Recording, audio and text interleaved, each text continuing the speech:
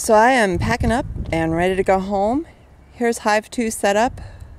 Very different than Hive 1, just a different way of installing. And I'm not going to open Hive 1 up today. It's getting very cold.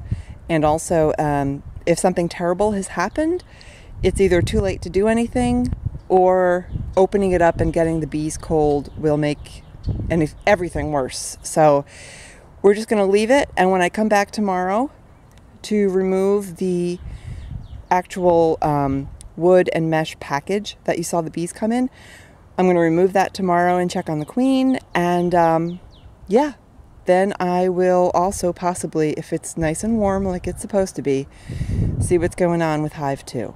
Or Hive 1, rather. So Hive 1, Hive 2. Same number of bees, just a, a different way of installing.